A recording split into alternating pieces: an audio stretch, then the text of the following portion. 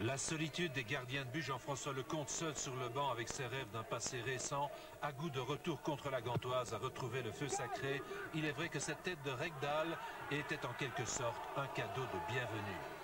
Un peu après la demi-heure, une longue balle haute en profondeur adressée par Didier Quin à Nick Peba d'une mobilité parfaite. Firenze est écarté de la trajectoire du ballon. Tir croisé et but. Victor, le plus aimé des supporters sans et ouvre la marque à la surprise générale.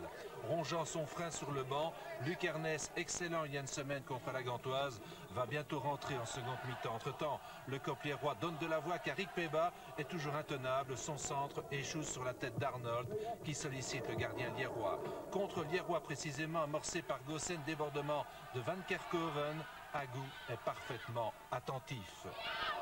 Par la suite, une brillante accélération de Daniel Simès, un crochet avant un tir détourné par Olisset. Leto se resserre sur le but liégeois. D'autant plus qu'Agou a la vue masquée tant il y a du monde dans le grand rectangle. Le coup franc était l'œuvre de Brocken.